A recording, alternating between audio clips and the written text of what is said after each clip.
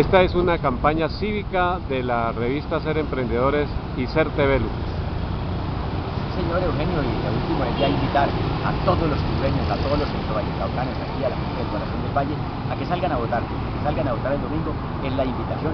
Hágalo por su candidato de su preferencia, hágalo por el candidato que usted considere que merece su voto de confianza, que usted le va a dar ese poder de que tome las decisiones y por eso pues es lo que buscamos de que Colombia salga en paz a votar.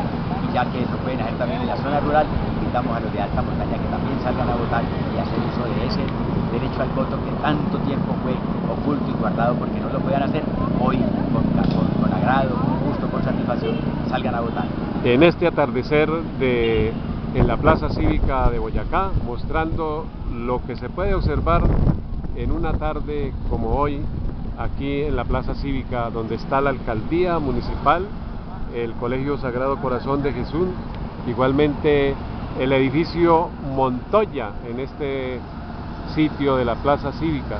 También en este sitio podemos observar la parroquia de San Bartolomé, emblemática porque es la parroquia más antigua que hay aquí en el municipio de Tuluay, donde se eh, hacen muchos eventos también de tipo religioso. Estamos invitándolos pues aquí con nuestras banderas. Nuestras banderas son las banderas del Valle, eh, Colombia y Tuluá, donde estamos.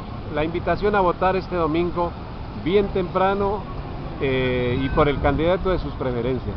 Queremos la paz y eso es lo que más nos eh, satisface promover aquí en Ser TV, la revista Ser Emprendedores. Señor Lucas, usted ya lo ha dicho, eh, todo y, eso es lo que estamos buscando, de que los jóvenes, que hoy son 8 millones, personas que pueden tomar la decisión es con la mayor invitación y con el mayor cariño para que salgan a participar de ese voto. No se queden en casa, salgan a votar.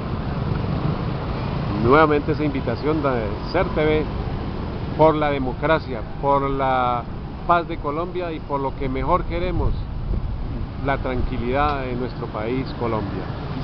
Es un país muy bonito y tenemos que defenderlo este 11 de marzo, votando por los que son es el compromiso con nuestros herederos.